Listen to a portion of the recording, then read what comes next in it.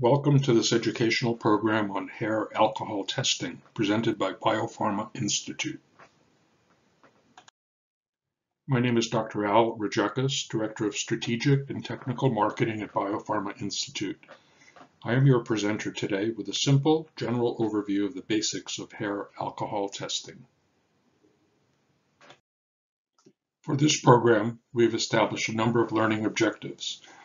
When we get to the end of this presentation, you will know how hair alcohol testing is used and the types of testing available, the pros and cons of using saliva, urine, and hair for assessing alcohol use, a little bit on hair biology basics, the differences between our legal and personal hair test options, how hair testing is performed in the lab, and how hair test results are interpreted and what they may mean.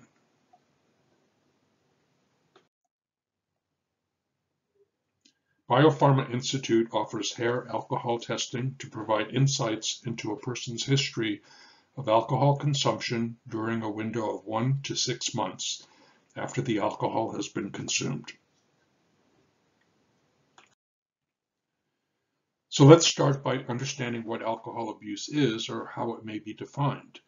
How much alcohol do you have to consume in order to have a problem?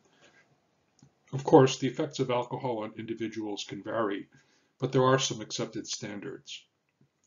The World Health Organization, WHO, defines alcohol abuse as alcohol consumption that exceeds 60 grams of alcohol per day. You can see examples of different types of alcoholic beverages and the corresponding alcohol amounts. On average, a drink corresponds to 8 grams of alcohol, so consuming 7 to 8 alcoholic drinks per day on a consistent basis can constitute alcohol abuse.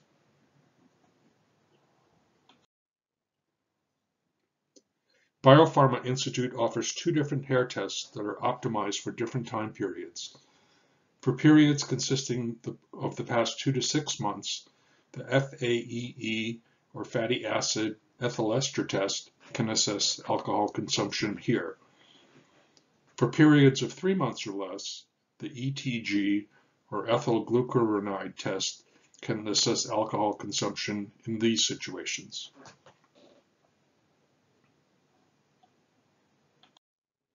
What about testing saliva or urine? Those specimens can be useful, but they have definite limitations and are best used to assess alcohol that may be in the system at the time of the test. Saliva can only be used up to six hours, urine for periods four hours to eight days.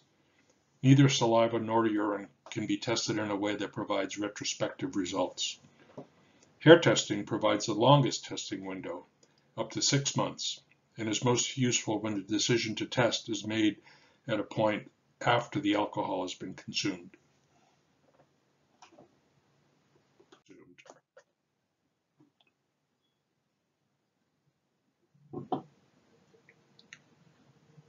So to summarize the benefits of hair alcohol testing, they include establishing a timeline of alcohol abuse from one to six months using a non-invasive testing procedure. Hair testing provides a longer detection window than with urine, blood, or saliva. Alcohol testing can help identify persistent alcohol levels, which may induce or result in other medical problems. So let's take a look at how hair physiology impacts alcohol testing. Hair grows at approximately 1 centimeter or 0.4 inch per month. As it grows, byproducts of alcohol metabolism are deposited along the hair shaft. These metabolic products from hair clippings cannot be detected until hair grows out a bit, typically two to four weeks. The distance from the scalp that the hair sample is taken can provide an estimate of the approximate time period of alcohol consumption. These deposited substances are relatively stable to hair treatments, cosmetics, and sunlight. There are some factors to consider which can affect hair alcohol testing. Ethanol exposure from the environment, including alcohol abstainers, can be present in hair as FAEE ethanol metabolites, leading to a possible false positive result. Washout can affect the presence of ETG ethanol metabolites. leading to a possible false negative result. Using both ETG and FAEE tests are complementary and provide the most comprehensive picture for assessing the alcohol use situation. So how does one decide between hair testing for legal or personal purposes? The legal test is comprehensive in the types of situations the lab results may support. There is a chain of custody process to ensure that the hair sample comes from an individual whose identity has been verified and the hair sample is not subject to tampering anywhere along the testing process. If you have a simple need to assess possible alcohol use or abuse, a personal test may be adequate. You are responsible for the collection of the hair sample and sending it off to the lab. There is no authentication of the person providing the hair sample being tested, unlike the case with the legal version of the test. Just to reiterate, chain of custody and sample integrity is critical for certain situations, such as employment checks or documentation for legal proceedings. It is also important to document any details in a person's medical history or use of hair products, which may affect hair test results. Let's talk about the lab testing process for a minute. The metabolites of ethanol in the body that are taken up by hair are extracted from hair samples during the testing process. The extracts are analyzed using a process called mass spectroscopy. Large molecules are broken down with electron beams in a vacuum to create smaller chemical fragments. It is these smaller chemical fragments that can be detected and quantified. Test results are quantitative and reported in units of picograms per milligram. It is important to consider external factors which may affect the presence of alcohol metabolites in hair specimens, including use of certain hair products and or environmental exposure. This chart shows ETG and FAEE test results with three different ranges shaded in green, yellow, and red. The Society of Hair Testing has established various cutoff values for different stages of alcohol consumption, including abstinence, repeated alcohol consumption, or chronic excessive alcohol consumption. These values help provide a context in which the test results can be related to the patient being tested. Please note that the Society of Hair Testing guidelines were updated in 2016 to use ethyl palmitate only as the metabolite to establish FAEE levels.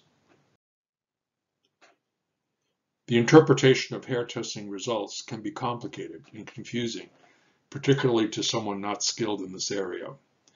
At times, test results may not be conclusive of alcohol use or abstinence for a particular time period. Biopharma Institute has experts available for written, live video, or in-person testimonials who can help correlate test results and levels of alcohol consumed. In summary, we have discussed the following topics. Hair alcohol testing is a valuable tool for determining alcohol abuse or to confirm abstinence. There are two different hair tests, FAEE and ETG, which provide different time windows into alcohol use. Hair samples provide the longest alcohol detection period, up to six months, compared to saliva or urine. Hair testing can be done for either legal or personal reasons.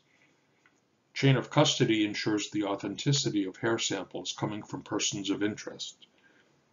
The hair testing process in the lab detects metabolites of alcohol which are incorporated into hair as it grows. And expert testimonials may be helpful in properly interpreting test results. I hope this presentation has been informative and useful. If you have any questions on any of the content in this presentation or for more details on hair alcohol testing, visit our website at abusecheck.com, send us an email, or call us. Specific contact options are shown on this slide. Thank you for your time and attention.